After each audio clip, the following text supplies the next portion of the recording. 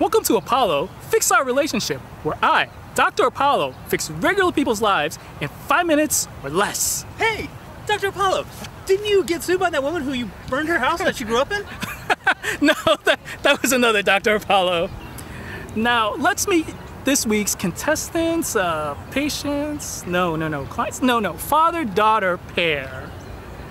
Harold Harry Ong, a computer engineer with an interest in street photography. Let's find out more. If I were a sandwich, I'd be a chicken parm hero from Brooklyn. And his beautiful daughter, Elizabeth Ong, a second grader that loves to dance and play with slime. So why are you on my award-winning show? I'm trying to strengthen my relationship with my daughter. She's on remote homeschool all year while I've been working from home on multiple Zooms, but we might as well be on separate continents. Okay, great. My prescription is you take a trip. Exploring the world will bring you both closer together. We're giving you two free bus tickets. What? We're giving you two Greyhound tickets. The tickets are free. So go explore, and don't just explore. Eat, you eat a meal, have lunch, eat, eat lots of, lots of sandwiches. You know, all the sandwiches, chicken and, and bacon, and that is what will save your relationship and bring you both together. Very? Okay, let's go.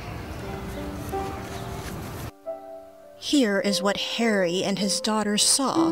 In light of Dr. Apollo's prescription, they have found many sandwiches.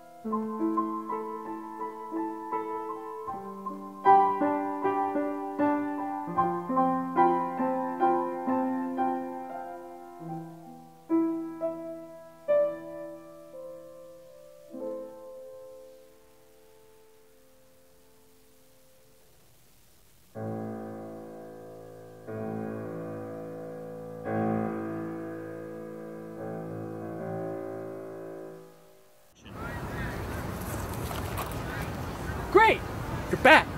Now, tell everyone how my prescription of exploring the world saved your relationship and brought you two closer together. And so we got some banh mi's. It's a classic. Pickled vegetables, pate, Asian luncheon meat, mayo and peppers on a crusty roll. Well, Doc, there was a lot of diversity out there. Rye, pastrami, gyros, wet, dry, gluten-free. They were all amazing and they deserved to be respected. And it was also the opportunity to get out of the house and away from all of those screens. But yes, Daddy, it's still yummy. I'm glad I got to do this with you. Me too.